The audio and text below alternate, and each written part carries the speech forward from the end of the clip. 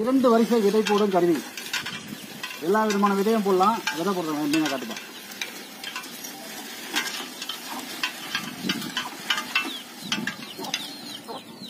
இப்போ இது வந்து ஒரே கையில கூட ஆப்ரேட் பண்ணலாம்.